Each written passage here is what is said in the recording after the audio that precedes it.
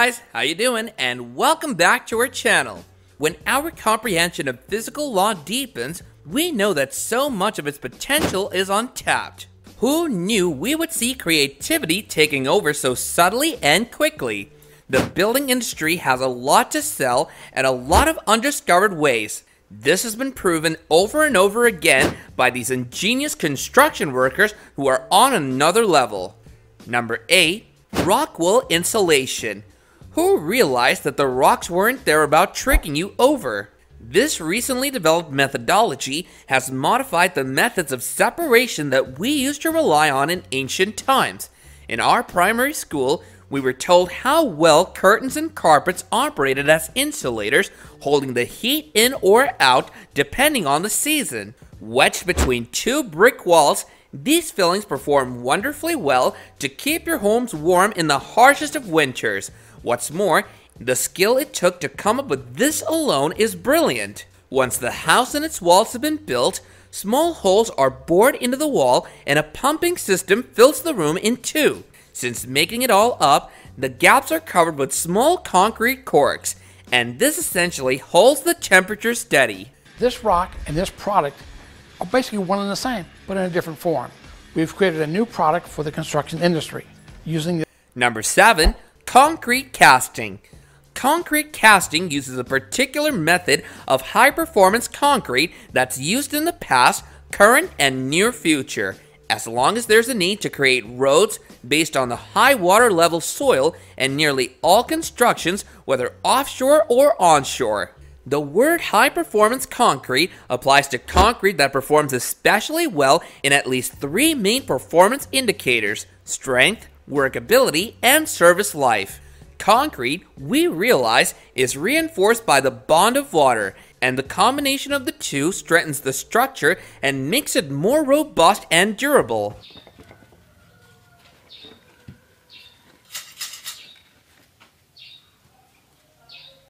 Number 6. Interlocking bricks.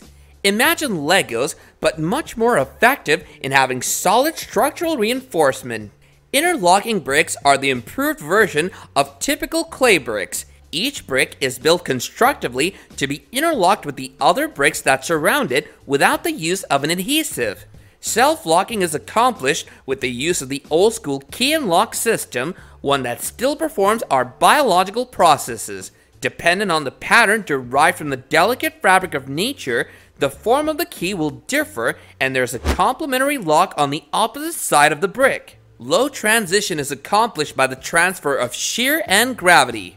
The interlocking bricks are compressed and stabilized earth bricks which contribute to the strength of the structure. Usually, they're not subject to baking. Interlocking bricks come in varying size and locking mechanisms depending on the retailer. The conventional methods of beams and poles is now out of fashion, so you don't need to lay bricks anymore. A proactive worker only wants to stack the bricks in whatever manner the blueprint demands, then cover it with mortar to get the job done.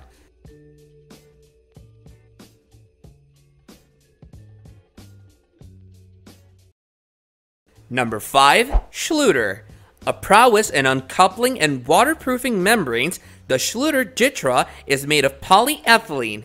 Ditra functions as a waterproofing layer that covers moisture-sensitive substrates such as plywood or OSB. And free space on the underside of the matting provides a path for accumulated moisture and vapor to avoid damage to the tile layer above. As a result, Integrating this into our buildings, businesses eliminate flood erosion from breaking down our walls and weakening structural integrity. Water is known for its erosive strength, and as the continued, even though it is a decline, the flow of water is known for the degradation of buildings, and in order to prevent this from occurring, Schluter has taken upon himself the task of preventing this and damaging our walls. Not even and straight, and that could be a little bit of an issue uh, when you go to set tile in general. Number 4. Wall finishing. After designing a house, it cannot be left unfinished to look like a rough construction of a home and not exactly a habitable location, and to make it more beautiful, this technique was first applied. Wall finishing has been found to be significant in the appealing dimension. This occurs when the house is constructed and structured, but the walls still look incomplete, rugged, as if they weren't tended to at all. To compensate for this, the constructive staff came up with the concept of coating the wall in evenly applied Paris or concrete plaster to give it a cleaner appearance. Later, this may be adorned with paint or texture, but the very first layer remains with the finishing. This gives the wall a look so sophisticated that you don't even see the need to paint it over. The wall is primed for further work on it.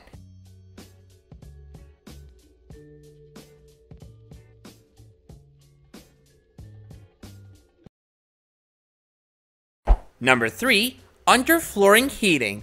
This latest skill and its incorporation have revolutionized the way we're going through the building.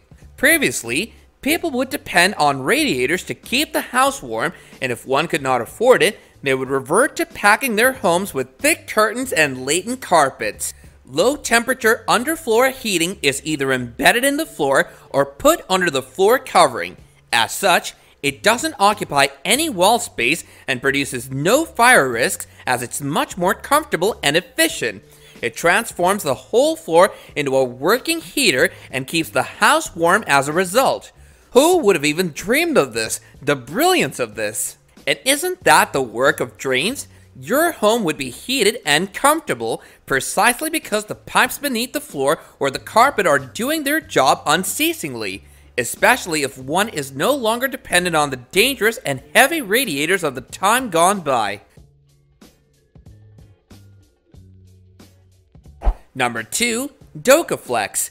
Dokaflex has been shown to be essential to supporting large-scale monstrous constructs. It's super strong and carries the weight of unbound strength. It's especially used in the construction of large buildings as it builds the foundation of every house. That is the fixing and piling of boards consisting of heavy metal alloys and beams of equal composition. They manage high indestructible houses and structures. The foundation that is made from these metal frame beams and boards withstands any calamity or catastrophe. In comparison, it's still very easy to deal with. What the worker has to do is stack it up and position it in the right place. Dokaflex is a genuinely innovative contribution to the building industry, questioning old school concepts and traditional methods, permanently replacing a much poorer timber equivalent. Number 1. Pallmaster. Thanks to Pallmaster, one of the most pivotal improvements in tiling and floor leveling has been made. This technique was unique in its process. Pallmaster was a technique introduced to hold the tiles tightly in place. After cementing the concrete space, these tiles were placed on the wet and adhesive cement, and the tiles were put in place by adding them to the adjacent tile. This meant that each tile would be fixed to the level of those around it, which ensures that the floors would be smooth and level. This changed the old-fashioned way of work by bringing down and cementing bricks where you used to waste hours and hours to do so. This technique has taken the pressure away from working hours. Give us your thoughts about these construction techniques in the comments section below while also hitting the like button and subscribing to our channel if you haven't already so you can catch up on more insightful content like this in the future. And with that, I'll be catching you guys later in another video.